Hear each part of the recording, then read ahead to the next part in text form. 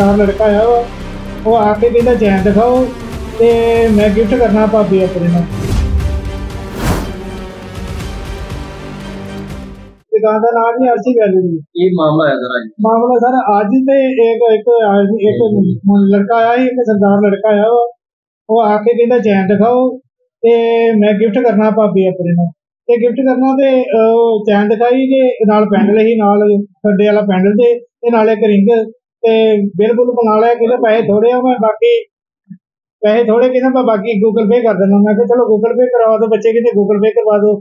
ਤੇ ਇਹਨਾਂ ਨੂੰ ਨਾ ਬੇਕੇ ਦਾ ਬਿੱਲ ਬਣਾਓ ਬਿੱਲ ਬਣਾਉਣ ਦੀ ਗੱਲ ਆ ਤੇ ਨਾਲ ਹੀ ਲੈ ਕੇ ਤੇ ਬਾਹਰ ਭੱਜ ਗਿਆ ਤੇ ਮੋਟਰਸਾਈਕਲ ਵਾਲੇ ਨੇ ਇਸ਼ਾਰਾ ਮਾਰਿਆ ਤੇ ਨਾਲ ਹੀ ਭੱਜ ਗਿਆ ਜੇ। ਪਹਿਲੇ ਕਦੀ ਇਦਾਂ ਦੀ ਵਾਰਦਾਤ ਹੋਈ? ਪਹਿਲੇ ਸਰ ਪਹਿਲੇ ਸਾਡੀ ਚੋਰੀ ਹੋ ਗਈ ਪਹਿਲੀ ਤਰੀਕ ਨੂੰ। ਮੈਂ ਆ ਕੇ ਸਵੇਰੇ ਦਰਵਾਜ਼ਾ ਖੋਲਿਆ ਜੀ ਤੇ ਆ ਕੇ ਵੇਖਿਆ ਤੇ ਕੰਧ ਸਾਡੀ ਆ ਜਿਹੜੀ ਕੰਧ ਸਾਡੀ ਇਹ ਪਾਟੀ ਪਈ ਏ। ਪਾਟੀ ਪਈ ਇਦਾਂ ਇਦਾਂ ਮੌਕੇ ਕੱਢਿਆ ਜੇ।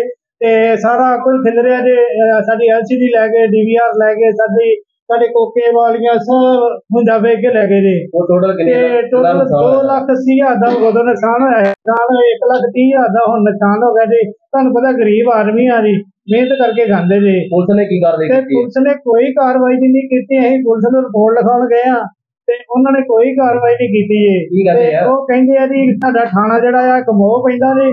ਤੇ ਕਮੋਹ ਵਾਲੇ ਕਹਿੰਦੇ ਆ ਜੀ ਕਿ ਅਸੀਂ ਕਮੋਹ ਵਾਲਿਆਂ ਨੂੰ ਵੀ ਬੁਲਾਇਆ ਇੱਥੇ ਸਰ। ਤੇ ਕਮੋਹ ਵਾਲੇ ਕਹਿੰਦੇ ਆ ਤੁਹਾਡਾ ਥਾਣਾ ਤੇ ਛਾੜਾ ਸਾਹਿਬ ਪੈਂਦਾ ਜੀ।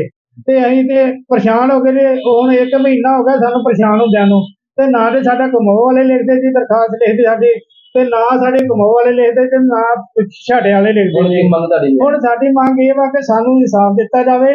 ਤੇ ਸਾਡੀ ਜਿਹੜੀ ਆ ਸਾਡੀ ਹੈਲਪ ਕੀਤੀ ਜਾਵੇ। ਸਾਨੂੰ ਵੀ ਕਿਹੜਾ ਥਾਣਾ ਸਾਡੇ ਲੱਗਦਾ ਵਾ ਤੇ ਸਾਨੂੰ ਤੇ ਕੋਈ ਰਿਪੋਰਟ ਵੀ ਨਹੀਂ ਆਈ ਸਾਡੀ ਸਰ ਲਿਖੀ ਜਾਂਦੀ ਕੋਈ। ਤੇ ਅਸੀਂ ਸਮਝ ਲਓ ਇੱਕ ਮਹੀਨਾ ਜਤੀਮਾ ਉਹਨੂੰ ਜੀਂਦੇ ਜੇ ਸਮਝ ਲਓ ਕਿ। ਇੱਕ ਮਹੀਨਾ ਪਹਿਲਾਂ ਵੀ ਇਸੇ ਦੁਕਾਨ 'ਚ ਕੰਧ ਪਾੜ ਕੇ ਚੋਰੀ ਹੋਈ। ਜੋ ਕਿ ਇਹ ਦਰਖਾਸਤ ਆਪਾਂ ਲਿਖਾਉਣ ਗਏ ਆ ਛਾੜੇ ਥਾਣੇ ਕਿਉਂਕਿ ਸ਼ੁਰੂ ਤੋਂ ਹੀ ਸਾਡੇ ਏਰੀਏ ਨੂੰ ਥਾਣਾ ਛਾੜਾ ਪੈਂਦਾ। ਐਸਐਚਓ ਸਾਹਿਬ ਜਿਹੜੇ ਨਵੇਂ ਆਏ ਨੇ ਜਦੋਂ ਦੇ ਆਏ ਨੇ ਕਮ ਸੇ ਕਮ 2-3 ਮਹੀਨੇ ਹੋ ਗਏ ਆ। ਇਹ ਦੋ ਤਿੰਨ ਦਰਖਾਸਤਾਂ ਸਾਡੀਆਂ ਮਤਲਬ ਸਾਡੇ ਇਲਾਕੇ ਦੀਆਂ ਗਈਆਂ ਤਾਂ ਮਤਲਬ ਇਲਾਕੇ ਦਰਖਾਸਤ ਨਹੀਂ ਲੈਣ ਦੇ। ਕਹਿੰਦੇ ਜੀ ਇਹ ਕਮੋਚ ਪੈਂਦਾ। ਕਮੋਚ ਅੱਜ ਕੱਲ ਕੋਈ ਦਰਖਾਸਤ ਦਿੱਤੀ ਨਹੀਂ ਨਾ ਉਹਨਾਂ ਕਦੀ ਦਰਖਾਸਤ ਕੋਈ ਲਿਖੀ ਆ। ਕਿਉਂਕਿ ਏਰੀਆ ਸਾਨੂੰ ਛਾੜਾ ਪੈਂਦਾ। ਤੇ ਸਾਡਾ ਵੈਸਟ ਹਲਕਾ ਵਾ। ਤੇ ਇਹ ਸਾਨੂੰ ਕਮਿਸ਼ਨ ਸਾਹਿਬ ਜਿਹੜੇ ਆ, ਮਾਨਯੋਗ ਕਮਿਸ਼ਨ ਸਾਹਿਬ ਕੋਲ ਬੇਨਤੀ ਹੈ ਕਿ ਇਹ ਸਾਡਾ ਕੋਈ ਹੱਲ ਕੀਤਾ ਜਾਵੇ। ਕਿਉਂਕਿ ਸਾਨੂੰ ਥਾਣਾ ਛਾੜਾ ਪੈਂਦਾ ਵਾ।